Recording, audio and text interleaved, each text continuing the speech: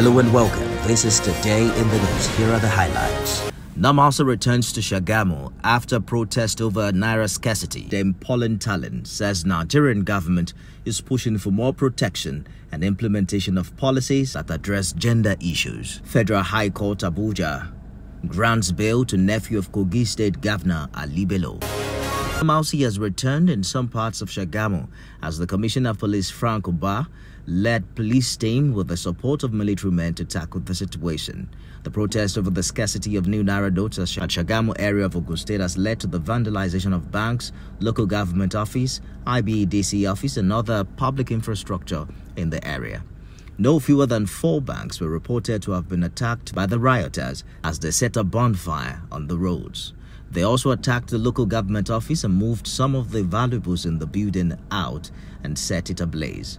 The aggrieved youth lament hardship they're facing for days without having access to cash to buy their daily needs.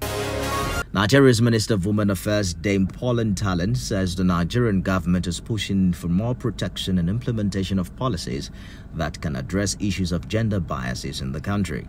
The minister acknowledges that the Buhari administration has done a lot to ensure inclusivity in governance, but says more can be done for women, girls, and persons with disability.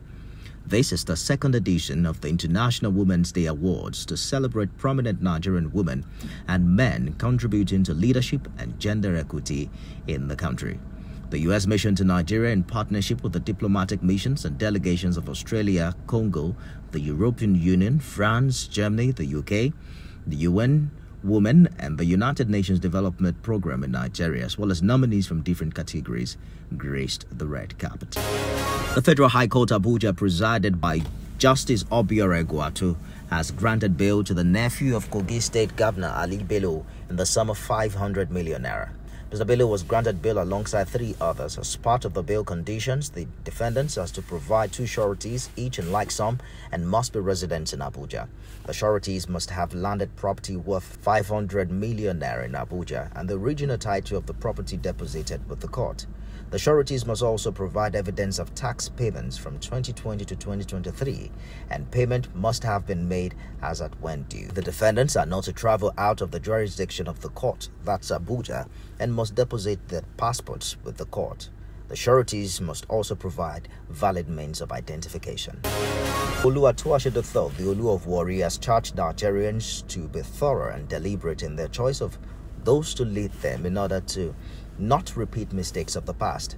The Warri monarch who gave the charge in a message titled A Call for Peace and Participation in the general elections said it was time for Nigerians to show that their voices and votes matter. He said the 2023 general elections have presented a golden opportunity for the people to redirect the affairs of the country in a way that will be beneficial for all. The monarch, however, noted that the only way this could be achieved is for the people, especially young people, to come out en masse to cast their votes for the right persons.